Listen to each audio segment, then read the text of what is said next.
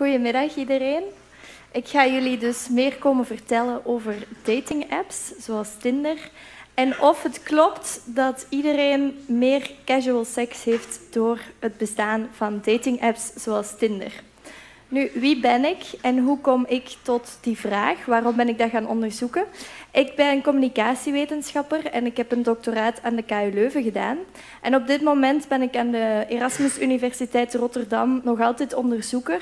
En hou ik me ook bezig um, met hoe dat datingapps als Tinder en Happen en Bumble, hoe zij eigenlijk onze interacties met elkaar beïnvloeden.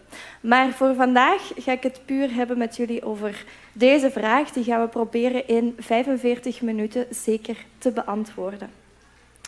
Nu, ik heb allereerst een vraag voor jullie.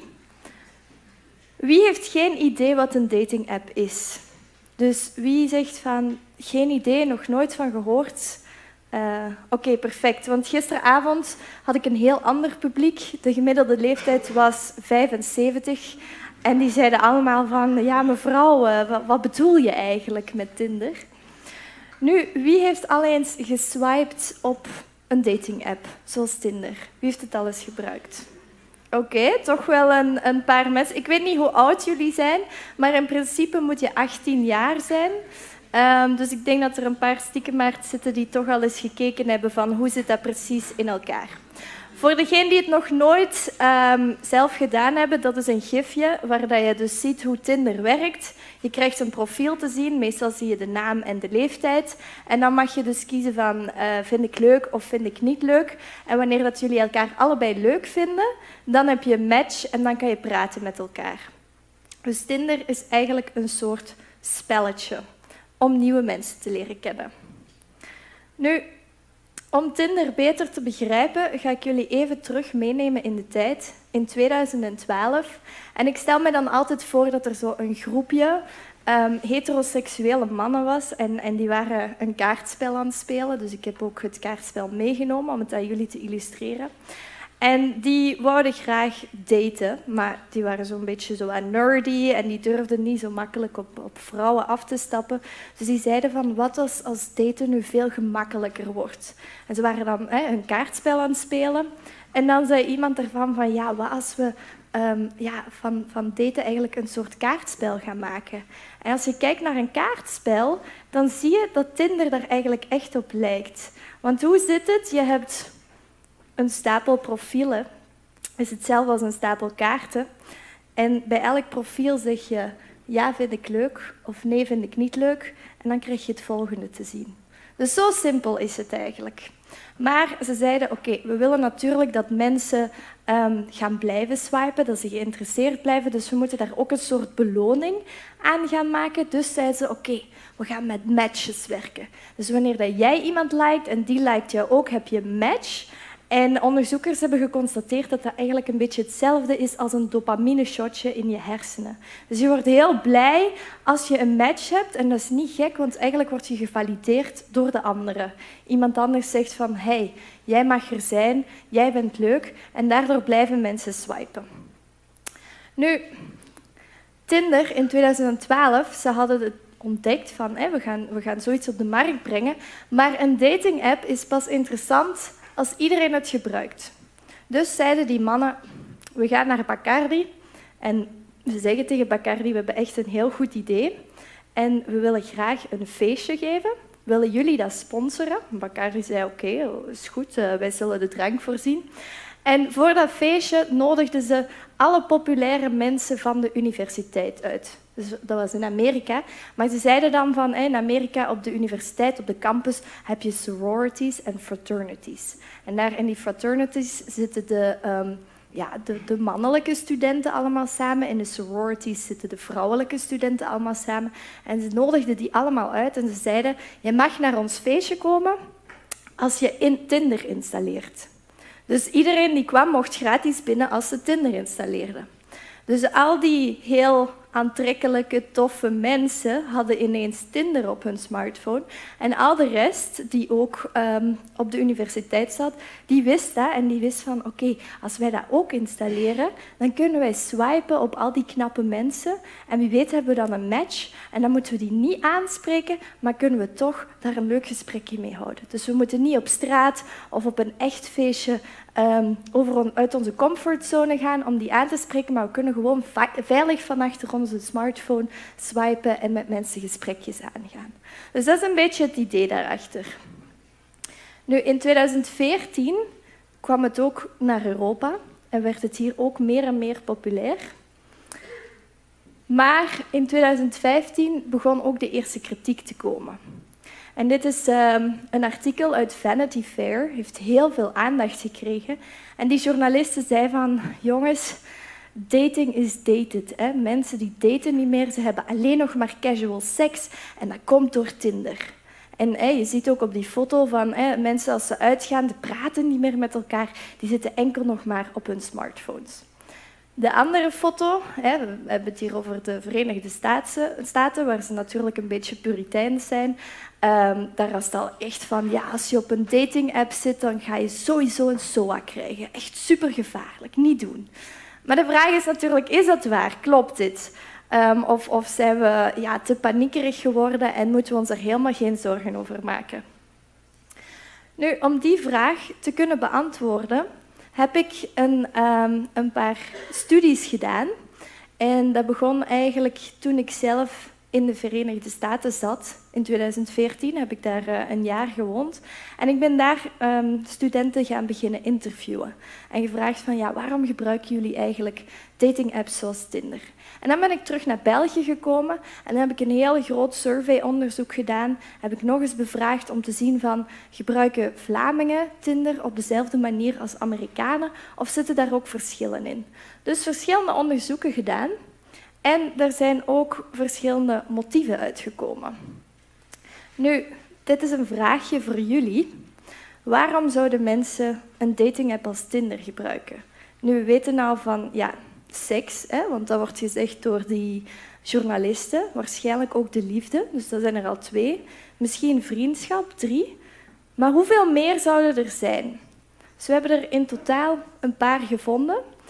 En voor degenen die denken dat het er minstens vijf waren, die mogen hun hand omhoog steken. Dus je denkt van zeker wel vijf. Een paar handen, ja, oké. Wie denkt dat het er zeker wel negen geweest zijn? Mag zijn hand omhoog steken. Oké, dat is al minder. Wie denkt dat het er zeker dertien geweest zijn? Niemand. Eén iemand. En misschien zeker vijftien? Nee? En nog iemand, nog iemand. Wel, we hebben er dertien gevonden. Dus dat is best veel. En ik ga die ook even met jullie overlopen. Welke motieven zijn dat dan? Waarom gebruiken mensen nu eigenlijk een dating-app? Nummer één, dus dat wil zeggen, de meeste mensen zeiden dat ze het hiervoor gebruikten. Ja, dat is, dat is echt niet serieus. Het is maar gewoon als tijdverdrijf of wanneer dat ik mij verveel. Um, mensen die me echt letterlijk vertelden van ja, wanneer ik op het toilet zit, vind ik het wel gezellig om een beetje te swipen. Of wanneer ik op de trein ben aan het wachten en die is weer eens te laat, ga ik eerst kijken op Facebook, dan op Twitter, dan op Instagram.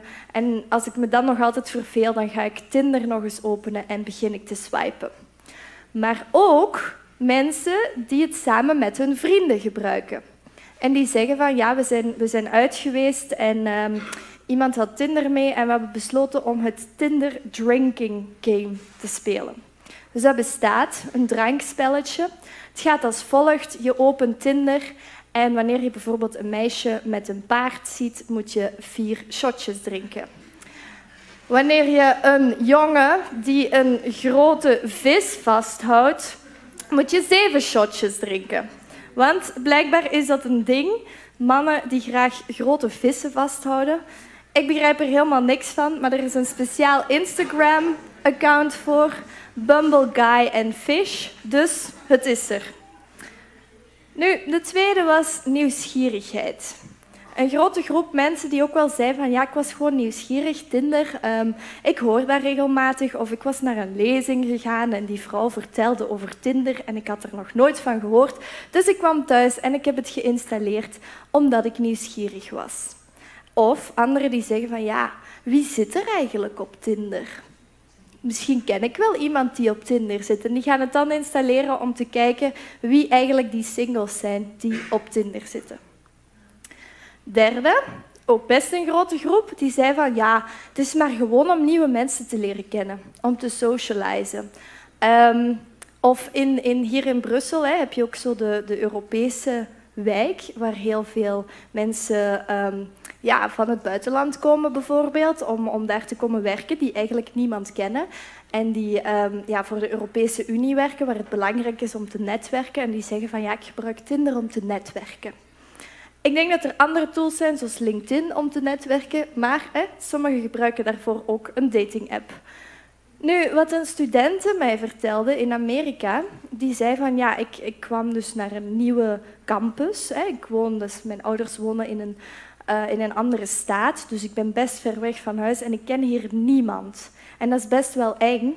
Dus ik ben op Tinder gegaan gewoon om te kijken van wie zit hier nog op die universiteit. En als ik uitga, is dat best wel handig, want ik zie op voorhand al wie er bijvoorbeeld single is. En dan weet ik dat die single is en als er dan een feestje is, dan durf ik die sneller te benaderen. Want ik weet dat er niet zo het typische gesprek gaat zijn, zo heel awkward van ja, ik heb eigenlijk al een vriendin. En dan sta je daar van, oh shit, heb ik net eh, een half uur van mijn tijd verdaan met deze persoon. Dus daarvoor kan het ook handig zijn. Nu, op de vierde plaats, hè, dus um, de vraag was eigenlijk, gebruiken we het voor casual seks? Maar blijkbaar is er toch een groep die zegt dat het echt voor de liefde is. En dat komt vaker voor dan mensen die zeggen dat het voor casual seks is. Want dit verschijnt voor casual seks. Dus een groep die zegt van, ik geloof erin dat ik mijn partner via een dating-app kan vinden. Um, en ik ga ook echt bewust op zoek naar een partner via Tinder. Deze vond ik heel grappig. Um, zoals ik al zei daar straks, van, als je swipet en je hebt een match, um, dan krijg je zo'n dopamine-shotje, een bevestiging van hey, ik zie er best wel goed uit.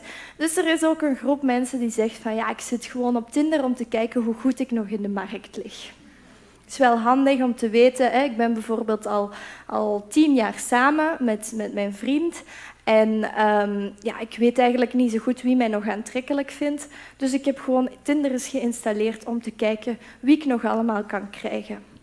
En een, een, paar weken geleden las ik een artikel van een, een journaliste en zij was zelf al 60 jaar. En ze zei van, ik heb Tinder geïnstalleerd om mijn ego te boosten en mijn man was er helemaal oké mee. Want ik wou gewoon weten van, wie, wie kan ik op deze leeftijd eigenlijk nog krijgen? En ze had best wel heel veel aandacht, dus dat maakt haar ook heel gelukkig. Afleiding. um, ook studenten die dit bijvoorbeeld zeiden van ik, ik ben aan het studeren en um, we hebben examens. Al mijn vrienden zijn ook aan het studeren, dus die kan ik eigenlijk niet afleiden.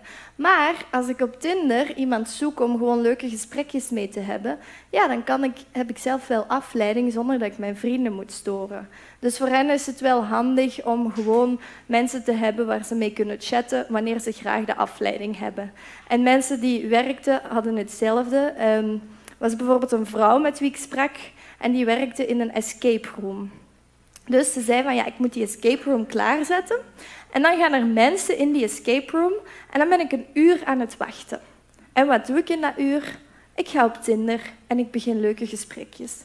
Maar als ik dan naar huis ga, vergeet ik die gesprekjes ook, want ik heb helemaal niet de intentie om echt af te spreken met iemand. Nummer 8, leren flirten toch zeven bedoel ik, nummer zeven, leren flirten.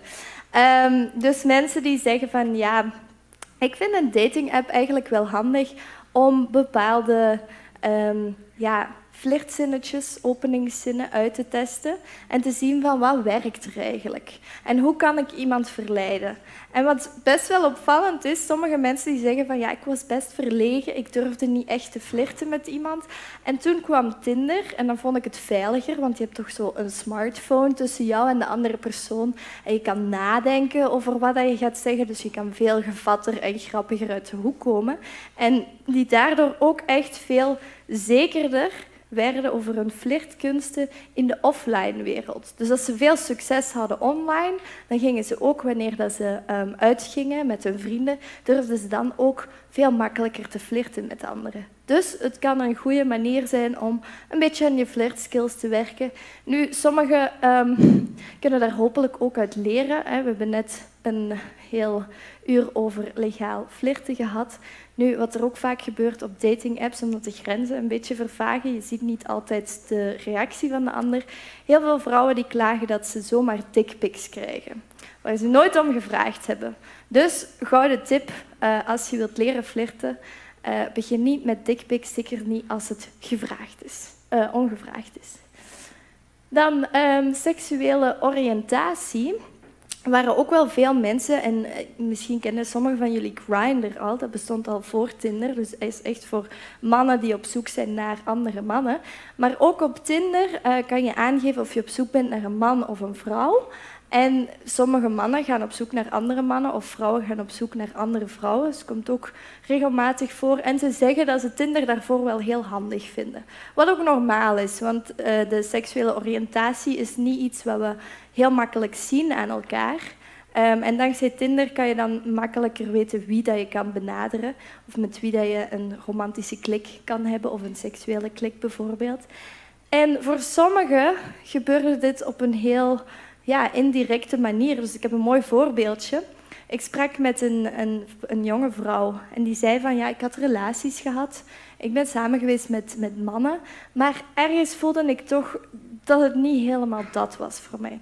En ze had Tinder en ze had een, um, twee vrienden die zeiden van hey, mogen we eens een keer op je Tinder swipen?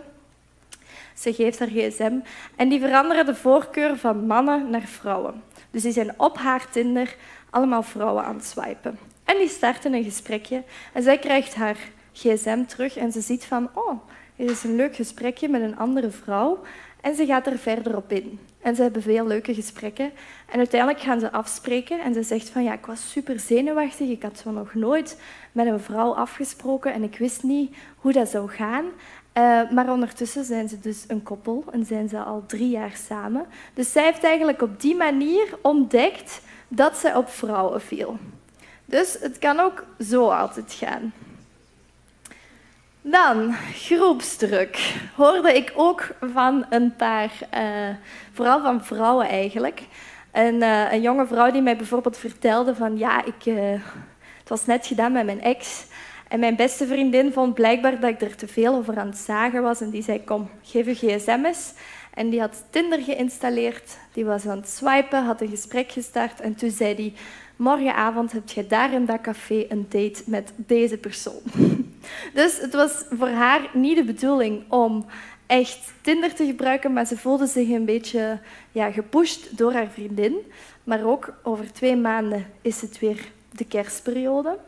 En omdat Tinder zo genormaliseerd is, weten waarschijnlijk ook jullie oma's en opa's wat Tinder is ondertussen. Dus als je dan geen vriendje hebt of geen vriendinnetje hebt, dan is de kans groot dat iemand aan de familietafel wel zal zeggen van zeg, uh, heb je Tinder al geprobeerd? Hè? Dus vandaar die groepsdruk kan ook van je omgeving komen om te zorgen dat je toch gaat beginnen daten. Nummer 10 uh, zitten we ondertussen al, reizen. Dus mensen die zeiden van ja, ik vond dat wel tof als ik op reis ben om een dating app te gebruiken. Want dan kan ik aan de locals vragen waar de beste plekken zijn om uit te gaan. Um, dan weet ik waar dat de lekkerste restaurantjes zijn. En het is altijd leuk als een local je gratis gids kan zijn. Ideaal. Ik heb zelfs een keer een artikel gelezen van een vrouw die um, beweerde dat ze Frans had geleerd dankzij Tinder. Want ze ging dan in Parijs swipen en zorgde dat ze alleen maar met Franstalige mannen in contact kwam die geen Engels konden en zo kon ze dan haar Frans oefenen. Dus mensen gaan heel inventief om met datingapps. En nu zijn we er eindelijk. Nummer 11 van de 13, casual sex. Dus dit wil zeggen dat enkel maar een klein groepje van de mensen die we bevraagd hebben, en we hebben in totaal meer dan 3000 mensen bevraagd, een klein groepje die zei van ja, we gebruiken het puur voor de casual sex. Dus we gaan echt mensen swipen omdat we een one-night stand willen hebben of omdat we een friends with benefits willen vinden of iets dergelijks. Dus dit gaat eigenlijk in tegen de stelling van Vanity Fair waarin stond van mensen hebben enkel nog maar casual sex door dating apps. Nummer 12. Dat is iemand die mij speciaal gemaild heeft om te zeggen van ja, ik heb je survey ingevuld en um, ja, daar ontbrak toch wel iets, want het is net gedaan met mijn partner en ik ben alleen maar op Tinder gegaan om te kijken of mijn partner al op Tinder zit. Maar dat was de enige reden. Niet omdat ik zelf op zoek ben, maar gewoon van, hè, is mijn partner er al klaar voor? Als ik hem niet tegenkom, dan uh, ga ik zelf nog even wachten met op Tinder te komen. Voor sommigen is het ook van, ja, ik was op Tinder gegaan omdat ik het zo moeilijk vond om over die relatie te komen, dat ik dacht van, ja, ik ga, ik ga dat installeren om zo snel mogelijk iemand nieuw te vinden. Om mijn ex te kunnen vergeten om over die relatie te raken. En dan de laatste. Tinder is gewoon cool. Iedereen heeft Tinder. Ik wil er graag bij horen. Um, en daarom heb ik Tinder. Um, en vooral eigenlijk in steden zoals Londen en New York hoor ik steeds vaker van mensen dat eigenlijk iedereen daar Tinder heeft. Dus ook mensen die een relatie hebben, omdat het meer gezien wordt als een social networking site zoals Facebook bijvoorbeeld. Dus het is daar heel normaal om Tinder te hebben, om af en toe te swipen, zonder het idee van dat je echt op zoek bent naar een relatie of naar seks of iets dergelijks. Oké, hier staan ze nog eens allemaal op een rijtje. Um, dus daar zie je van ja, verveling, tijdsverdrijf staat op de eerste plaats. Dus er zijn de meeste mensen die zeiden van ja, daarvoor gebruik ik het. En dan wordt het eigenlijk steeds minder en dan zie je cool op het einde dat dat het minst, of het minst vaak gezegd wordt. Nu, over casual seks, een heel grappig weetje. Mannen gaven veel vaker toe dat ze het voor casual seks gebruiken vergeleken met vrouwen. Dus daar hebben we wel een belangrijk geslachtsverschil gevonden die ego-boost, daar was het omgekeerde. Vrouwen veel vaker op zoek naar een ego-boost via Tinder vergeleken met mannen. Nu, we hebben ook gekeken naar persoonlijkheid. Dit zijn de Big Five. In de persoonlijkheidspsychologie zijn dat de ja, vijf grote persoonlijkheidskenmerken. En dan hebben we gekeken van hoe zijn die gelinkt met die verschillende Tinder-motieven.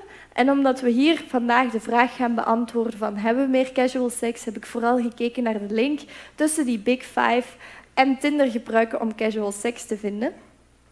En daarin vonden we dus dat agreeableness, dus is zo vriendelijkheid, mensen die daar lager op scoorden, dus die minder vriendelijk waren, dat die vaker Tinder gingen gebruiken om casual sex te vinden. Maar voor alle andere persoonlijkheidskenmerken vonden we geen verschil. Nu, natuurlijk, we gaan ervan uit dat iedereen single is op een dating-app. Maar vandaag de dag is dat helaas niet meer het geval. Ik heb een percentage nodig tussen 0 en 100, wat ik van jullie wil horen. En de vraag is, hoeveel van de mensen op Tinder hebben eigenlijk al een relatie? Dus wie wil gokken? Ja. Ja. 30 en 35 procent. Wie denkt minder? Oké, wie denkt meer? Oei, oei, oei. We zijn, uh, we zijn niet, zo, niet zo goed gelovig niet meer. Wel, gelukkig is het een beetje minder. Het is 22 procent. Maar 22 procent wil wel zeggen dat wanneer je aan het swipen bent en je ziet vijf profielen, dat één profiel daarvan iemand is die een relatie heeft. Nu, ik moet er wel bij zeggen, we hebben dat onderzocht in een sample met ongeveer 1000 Tinder-gebruikers. Maar we hebben niet gevraagd of het een monogame relatie is. We hebben enkel gevraagd van heb je een relatie. Dus het kan zijn dat een groepje hiervan ook wel echt in een niet-monogame relatie zit. Dus dat de partner weet dat hij op Tinder zit. Um, ik heb zo ook zelf al iemand gesproken die in een open relatie zat. En die vertelde mij van, het was een man en hij zei dat hij en zijn vriendin allebei Tinder gebruikten en hij zei dat super frustrerend. Want mijn vriendin heeft in haar profiel staan dat ze in een open relatie zit en alle mannen willen daarmee afspreken. Want die denken, oh fantastisch. Hè? Het leuke, maar niet hè, de, de commitment en we moeten niet altijd daten en dit en dat. Hij zelf had ook in zijn profiel staan dat hij een open relatie had. En alle vrouwen zeiden van, zijt je zeker dat uw vriendin dat weet? Want dat geloof ik niet. Dus zijn vriendin kon de hele tijd op date gaan met allemaal mannen. En hij zelf um, had heel veel moeite om één à twee dates op een lange periode te krijgen. Dus dat is al een verschil van hoe we daar als mannen en vrouwen mee omgaan. Dan, ik heb al die motieven met jullie overlopen, hè, dus 13 motieven. En we hebben ook gekeken van, oké, zitten mensen in een relatie op Tinder maar waarom gebruiken ze dat dan? En verschilt dat met waarom singles het gebruiken? Mensen in een relatie gebruiken het meer uit nieuwsgierigheid. Dus het voorbeeld wat ik in het begin gaf van... Ja, als je al tien jaar een relatie hebt, Tinder bestaat nog maar zeven jaar, in Europa nog maar vijf jaar ongeveer, vijf à zes jaar. Ja, als je al zo lang samen bent, dan heb je dat nooit meegemaakt. En die zeggen allemaal van, oh, dat vind ik jammer dat ik dat nu niet heb meegemaakt. Dat lijkt me echt fantastisch om te kunnen swipen. En die gaan het dan toch eens installeren om te kijken hoe dat, dat precies in zijn werk gaat. Tweede verschil, de het laatste motief omdat het cool is, omdat iedereen het gebruikt. Dus dat zijn die voorbeelden die ik heb gegeven van Londen en New York. En dan voor de casual sex vind ik heel bizar. Mensen in een relatie zijn vaker op zoek naar casual seks via Tinder vergeleken met mensen die single zijn. Heel belangrijk verschil. En de allerlaatste vond ik ook grappig. Mensen in een relatie willen vaker een ego-boost krijgen of zien hoe goed ze nog in de markt liggen, vergelijken met mensen die single zijn. Dus dat zijn de vier belangrijkste verschillen tussen singles en mensen in een relatie over waarom ze op Tinder zitten. Nu, we hebben ook gekeken naar de meer donkere persoonlijkheden. Hè. Dus daar straks zei ik de Big Five, dat zijn zo'n meer algemene. En dit is de Dark Triad, um, dus meer donkere persoonlijkheidskenmerken. En dan hebben we gekeken van, oké, die mensen die echt op een dating app zitten om casual seks te vinden, terwijl ze een relatie hebben, hoe zit dat met hun persoonlijkheid? En dan vonden we oh, dat die een hogere score op psychopathie hadden. Dus um, wat weten we van mensen die daar een hoge score op hebben, dat die minder empathisch zijn. Dus dan is het logisch dat je er niet bij stilstaat dat het je partner eigenlijk best wel kan kwetsen als je seks hebt met iemand anders. Dus zij gaven dat vaker aan. Nu, misschien heb je een partner en heb je schrik van, zit die op een dating app? Je kan naar deze website gaan en als je 5 dollar betaalt, mag je drie namen ingeven. En dan laat die website jou weten of die drie mensen stiekem een profiel hebben op Tinder. Hoe ben ik zelf dat te weten gekomen? Ik heb een keer een vrouw geïnterviewd ehm, en die vertelde mij van ja, mijn ex, toen we een relatie hadden, had ik toevallig in zijn mailbox een mailtje van Tinder gekregen. En blijkbaar betaalde hij voor Tinder. Maar als je voor Tinder betaalt, kan je dus aanduiden dat je profiel onzichtbaar is. Dus dat niemand jou kan zien, behalve als jij iemand liked, dan kan die andere zien dat je een profiel hebt.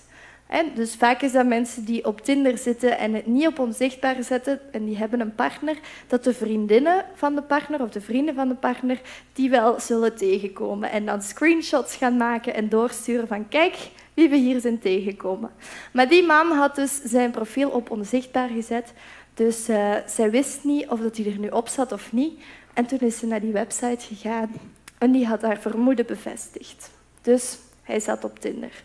Het werkt. Dit wil ook zeggen dat Tinder onze data verkoopt. Dus als je een profiel hebt op Tinder, zij verzamelen heel veel data van jou. En dit is dus een manier hoe dat zij geld eruit halen door jouw data te bezitten. Nu, we hebben het over de motieven gehad, maar om die vraag te beantwoorden van hebben we nu meer casual seks door uh, Tinder, moeten we niet enkel naar de motieven kijken, maar ook naar de uitkomsten. Ik ga dit al meegeven. 55% van de mensen die op Tinder zitten, die hebben ook al echt met iemand afgesproken. Dat is eigenlijk best weinig. Maar heel gek is dat niet, want we hebben die motieven gezien. De belangrijkste motieven zijn eerder passief. Hè, van ja, tijdverdrijf, entertainment, nieuwsgierigheid. Dat zijn mensen die eigenlijk niet staan te wachten om met iemand af te spreken.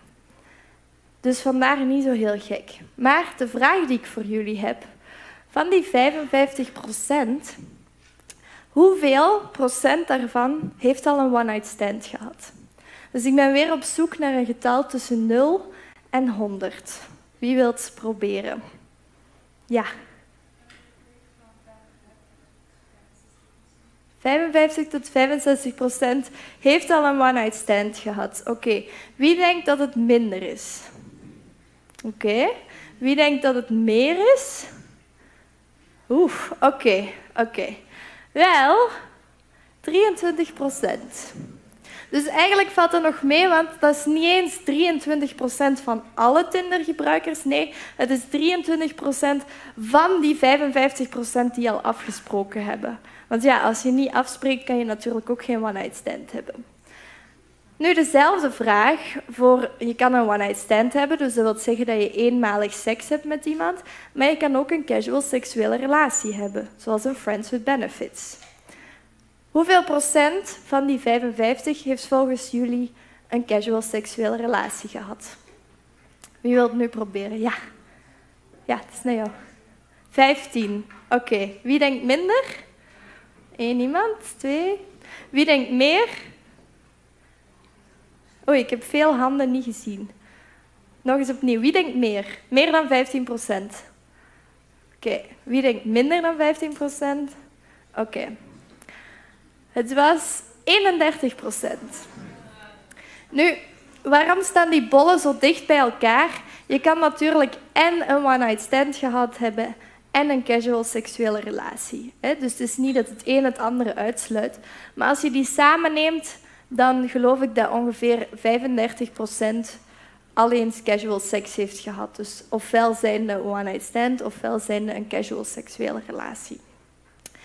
Nu, hebben mensen ook een relatie, een serieuze relatie dankzij Tinder. Weer een percentage. Hoeveel procent denk je dat een relatie vond? Ik ga nu eens een man vragen wie durft gokken. Ik heb nog geen mannen gehoord. Wie durft? Ja. 17 procent. Wie denkt minder? Oké, wie denkt meer dan 17 procent? Oké, goed. 27 procent. Dus eigenlijk, als we die gaan vergelijken, dan heeft wel bijna evenveel een serieuze relatie gevonden als dat mensen casual seks hebben gevonden.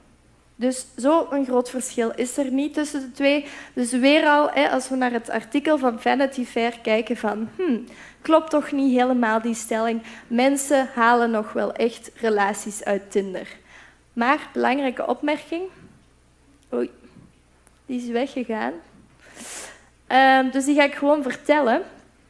De kans dat je casual seks hebt, is wel veel groter dan de kans dat je een relatie hebt. Wat eigenlijk niet zo heel gek is, want door die dating-apps gaan we veel vaker op date gaan. En hoe vaker dat je dus iemand ziet, hoe meer opties dat je hebt, hè, hoe meer je weet van oké, ik spreek nu met deze persoon af, maar ik heb nog vijf leuke gesprekken met andere mensen. Dus het kan zijn dat je een heel leuke date hebt en dat er meer van die date komt, dat jullie bijvoorbeeld seks hebben, maar je bent nog altijd met twee. Dus als jij het leuk vond, moet de andere persoon het ook wel leuk vonden of even leuk vinden en ook beslissen dat hij een relatie wil aangaan. Dus voor veel mensen is het bijvoorbeeld niet wederzijds dat ze een relatie willen hebben en daardoor blijft het bij iets casual en kan de ontmoeting niet verder tot een relatie gaan.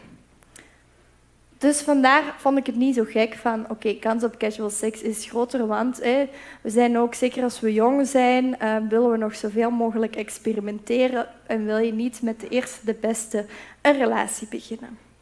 Nu, wat ik heel opvallend vond, heel veel mensen denken van, ja, of dat wordt toch heel veel gezegd en, en door de evolutionaire psychologie ook een beetje ondersteund van, mannen hebben graag casual seks en vrouwen hebben graag een relatie. Maar wat, wat vonden we hier voor casual seksuele relaties? De vrouw had meer kans om een casual seksuele relatie te hebben via Tinder dan de man. En heel gek is dat niet, want hebben jullie alles gehoord over de orgasmekloof? Dus mannen kunnen heel makkelijk klaarkomen, maar voor vrouwen is dat veel moeilijker. En vrouwen weten van als ik een one-night stand heb, de kans dat ik ga klaarkomen is heel klein. Want die man weet helemaal niet waar hij mee bezig is of hoe dat hij mij moet verwennen. Maar als ik een casual seksuele relatie heb, dan heb ik eigenlijk meerdere keren seks met dezelfde persoon. En dan weet hij ook wat ik leuk vind en hoe ik kan klaarkomen. Dus als vrouw is het veel interessanter om een casual seksuele relatie aan te gaan dan een one-night stand aan te gaan.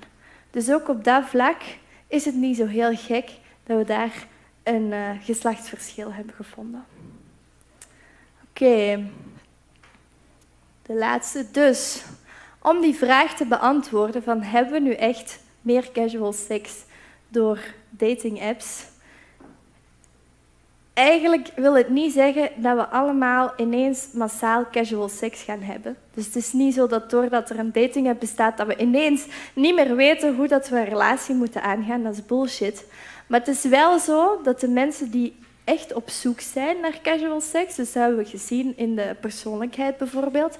Ehm, of mensen in een relatie die echt naar, op zoek zijn naar casual seks, dat die het wel makkelijker kunnen vinden dankzij die dating apps. Dus dat is het grote verschil. Maar we moeten niet gaan panikeren dat iedereen ineens casual seks gaat hebben. Dus dat is mijn conclusie om uh, die vraag van het begin te kunnen beantwoorden. Nu, ik zie dat we nog ongeveer zeven minuten hebben voor vragen. Ik zeg altijd, ik ben een beetje een wandelende online dating encyclopedie. Dus als je vragen hebt, nu is de moment. Kans dat ik ze kan beantwoorden is heel groot. Daar is een vraag, ja.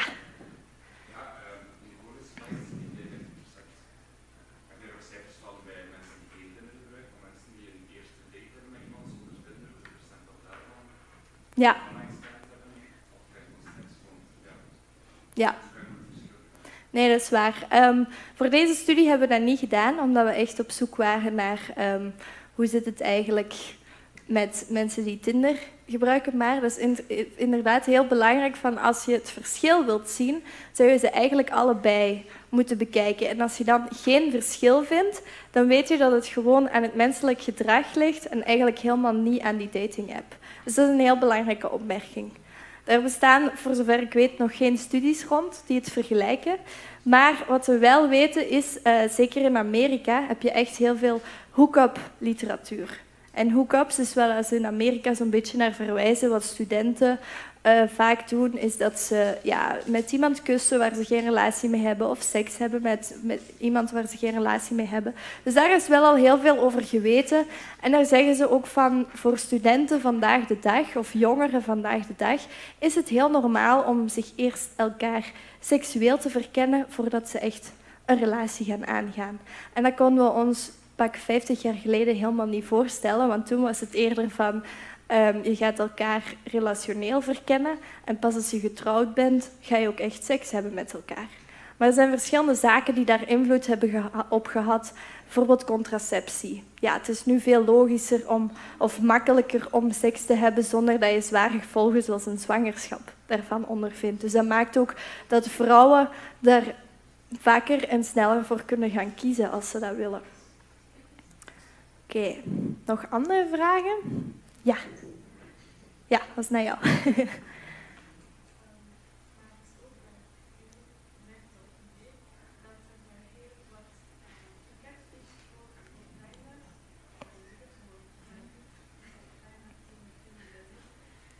Ja.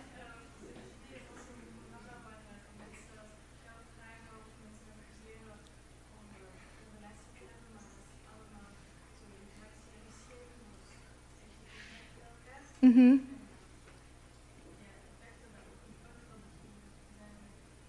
Met de motieven van, ja. Ehm, dat is een goede vraag. Dat is wat we de dating scams noemen. Dus inderdaad, om, om geld eruit te krijgen.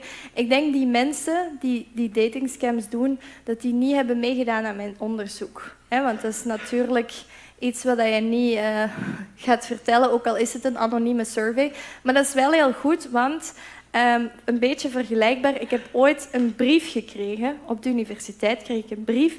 En die was met de hand geschreven, heel keurig en mooi geschreven. En het was een brief ondertekend door gefrustreerde, alleenstaande mannen. En die vertelden mij van ja, we hebben jouw motieven bekeken, um, allemaal goed en wel. Maar wij merken dat al die vrouwen, hè, dus zij waren in de 40 ongeveer, 40, 50, al die vrouwen van onze leeftijd die ook op Tinder zitten of op een andere dating app, die willen alleen maar gratis gaan uiteten. Die willen helemaal geen relatie. Die willen gewoon cadeautjes krijgen, gratis gaan uiteten. Um, dus dat staat niet in jouw lijstje. Ik denk dat het er een beetje um, mee aansluit van het meer ja, de geldzaken. Um, en dat komt inderdaad ook wel voor. Nu, we zijn altijd een beetje afhankelijk van de mensen die meedoen. Dus zelfs al hadden we 3000 mensen, ik moet zelf ook eerlijk zeggen, ik heb ook getinderd voor mijn onderzoek. En dat stond er ook niet tussen als, als in, in de motieven. Dus het kunnen er misschien zelfs veel meer zijn dan die 13. Maar soms is het zo uitzonderlijk dat je niet alles uh, gaat mee opnemen. Ja.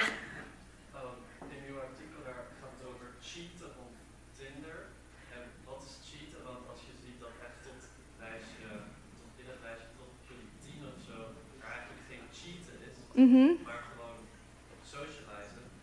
Um, ja, wat is dan cheaten? Ja. Als je in een relatie zit, daar is dan opeens wel in de top 4 punt um, ja, van een casual sex relationship. Ja. Um, dat is een heel goede vraag. Nu, ik heb gisteren in de lezing die ik deed, hebben we het over ontrouw gehad. En hebben we eigenlijk besproken van in het digitale tijdperk, wat is ontrouw nu eigenlijk? Um, en daarin zie je dat sommige mensen het al ontrouw vinden als je partner gewoon al een dating-app-account heeft. Dus dat zijn zaken die dat we eigenlijk, wanneer dat je een partner hebt, die je eigenlijk met elkaar zou moeten bespreken. Want het kan zijn dat jouw partner zegt van ja, maar dat is maar te zien hoe goed ik in de markt lig. Dat is helemaal niet om echt af te spreken. Het kan zijn dat jij dan vindt van dit is voor mij bedriegen, terwijl mijn partner zegt van ah nee, het was gewoon maar voor dat motief en niet om echt effectief jou te gaan bedriegen. Dus dat is een goede vraag, maar ik denk dat het antwoord daarop een beetje is van hoe interpreteren mensen tegenwoordig bedriegen.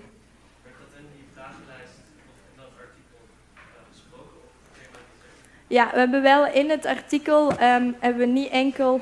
Oei, sorry, ik moest blijkbaar dat ding gooien.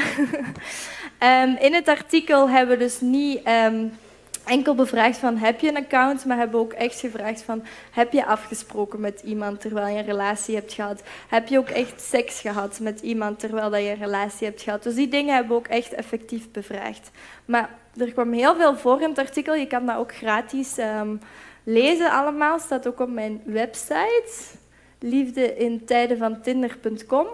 Um, dus daar kan je gewoon het artikel lezen. Het is heel uitgebreid, maar ik had maar 45 minuten, dus ik had helaas niet de tijd om dat allemaal heel uitgebreid te bespreken.